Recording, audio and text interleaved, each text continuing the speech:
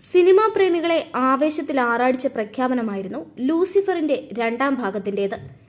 എമ്പുരാൻ എന്ന് പേരിട്ടിരുന്ന ചിത്രത്തിന്റെ പ്രഖ്യാപനം പൃഥ്വിരാജും മുരളീഗോപിയും ഒരുമിച്ച് പത്രസമ്മേളനം വിളിച്ചുകൂട്ടിയാണ് പ്രഖ്യാപിച്ചത്.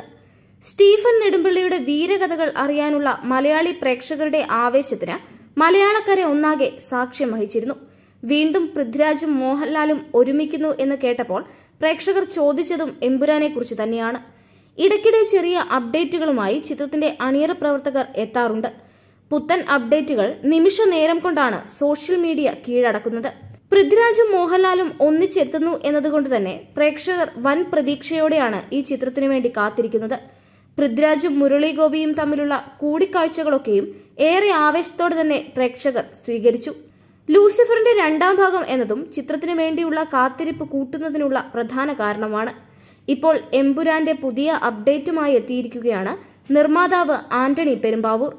എമ്പുരാൻ ഉടനെ ചിത്രീകരണം തുടങ്ങും എന്നാണ് ആന്റണി പെരുമ്പാവൂർ തന്റെ ഇൻസ്റ്റാഗ്രാം പോസ്റ്റിലൂടെ ഇപ്പോൾ അറിയിച്ചിരിക്കുന്നത്. ഒപ്പം തന്നെ പൃഥ്വിരാജിനും മോഹൻലാലിനും ഒപ്പമുള്ള ചിത്രവും ആന്റണി പങ്കുവച്ചു.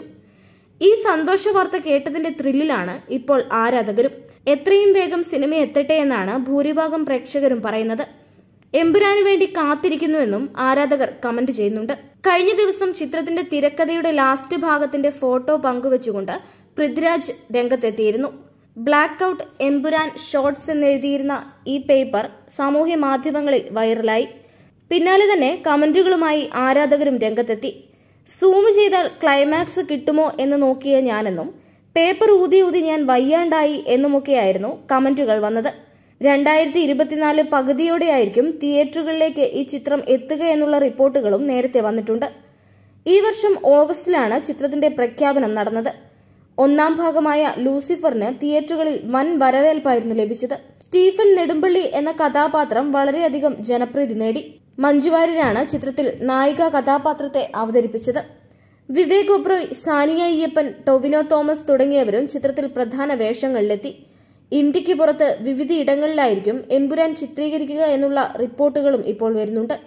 മുരളി ഗോപി തന്നെയാണ് ഈ ചിത്രത്തിന്റെ കഥയും തിരക്കഥയും നിർവഹിക്കുന്നത്. മൂന്ന് ഭാഗങ്ങളായിരിക്കും ഈ ചിത്രത്തിന് ഉണ്ടാവുക എന്നും ഇതൊരു സീരീസായി തന്നെ പുറത്തിറങ്ങുമെന്നും മുൻപ് മുരളി ഗോപി സൂചന നൽകിയിരുന്നു. ലൂസിഫറിന്റെ തെലുങ്ക് റീമേക്കും അടുത്തിടെയാണ് വെള്ളിത്തിരയിലെത്തിയത്. ചിരഞ്ജീവിയായിരുന്നു ചിത്രത്തിൽ മോഹൻലാൽ അവതരിപ്പിച്ച സ്റ്റീഫൻ നെടുമ്പള്ളി എന്ന കഥാപാത്രത്തെ അവതരിപ്പിച്ചത്.